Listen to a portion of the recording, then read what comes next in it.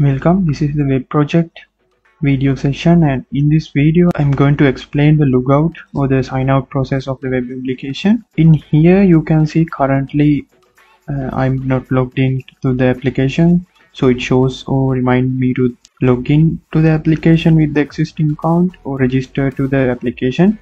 Uh, so when I click this click on it uh, I will take it will take me into the sign in page where I can log in so I'm going to I already registered to the web application so I'm going to enter my user details and log in again. So when I sign in when I logged into you can see my name is appeared in here uh, and there is logout option also appeared in here as you see. Uh, in this situation if I want to log out I can simply press the logout button. So uh, when I press this you can see it automatically refresh the home page again and appears the sign in registered. Now i'm not registered to the application i'm logged out. So that is the process of the web application of sign out.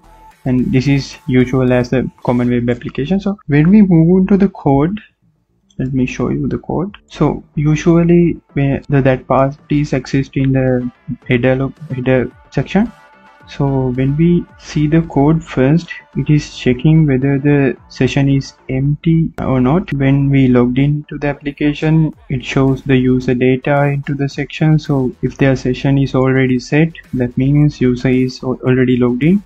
So that is the place which is checking that uh, if the session is set.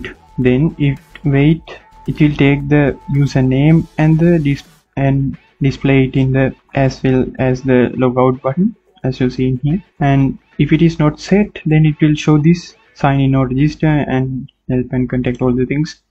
With this sign in and register if there is not set the session that means not logged in.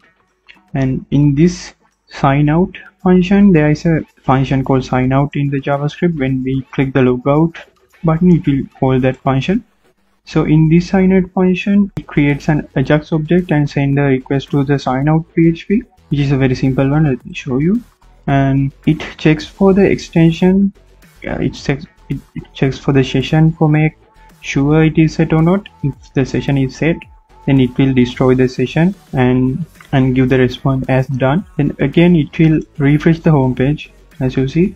If the response is done, then it will set the location again to home page that will refreshing. And that is the whole process of the sign out process. So that is it for this video and thank you for watching